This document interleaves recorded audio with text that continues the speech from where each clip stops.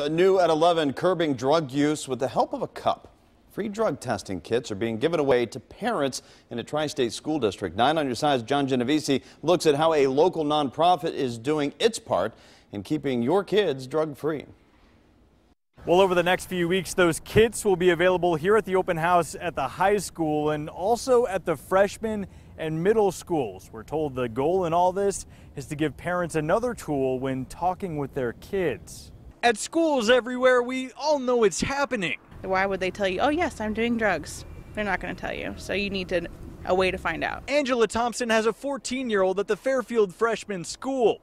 For the first time this year, the Coalition for a Drug Free Fairfield will be handing out around 500 of these home drug testing kits to parents for free. I think it's amazing because I've actually bought them online myself. Most youth don't use. Most teenagers are not bad kids, you know?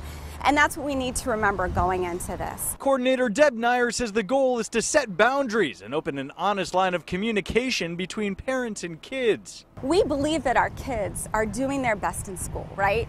But we're still going to look at their report card.